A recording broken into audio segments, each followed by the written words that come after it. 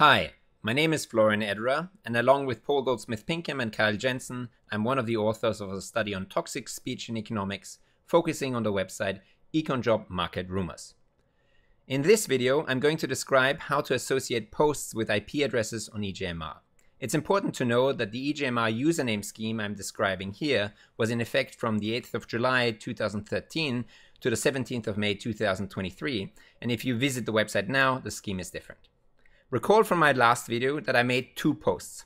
The first post was in the topic with ID 1127272, where I received the username 824E. The second post was in the topic with ID 1127329, where I received the username 607E. For each of these, we calculated a set of IP addresses that would have received the same usernames that I received. In the first post, there were 65,668 of these. And in the second post, there were 65,907 of these. But my IP address, the true IP address, was the only one that appeared in both of these sets.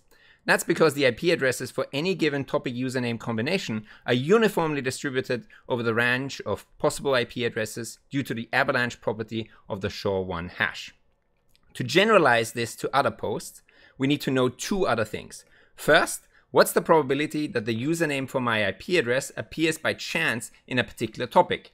This follows a hypergeometric distribution. And in any given week on EJMR, how often do we expect my IP to show up by chance? This follows a Poisson binomial distribution. Please read our working paper for more details. With these tools in hand, let's look at a more general example. Imagine we want to find the IP address from which this post was made. You can see that the topic ID is 175901 and the username 6b42. We start with the 2 to the 32 possible IP addresses. The hash inversion narrows it down to about 65,000. Now, how many of these 65,000 IPs explain other topic usernames in a seven day window? Well, the vast majority of them, about 58,000, explain nothing else that week. About 6,600 of them explain one other topic username combination that week. That is very close to what we'd expect by chance. About 370 IPs explain two other topic username combinations. 12 IPs explain three topic username combinations the week of this post. None explain four, and none explain five. This is all what we'd expect by chance for false positive IP addresses.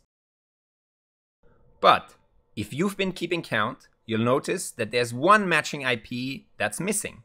All the way down here, there's one IP address that explains 103 other posts this week. You can see this has a p-value of 10 to the minus 267. It's an extremely unlikely event by chance. In our paper, we make the argument that this IP address is the likely source of this post, and we describe an optimization procedure that finds a small set of such outlier IP addresses that explains the observed posts on EJMR.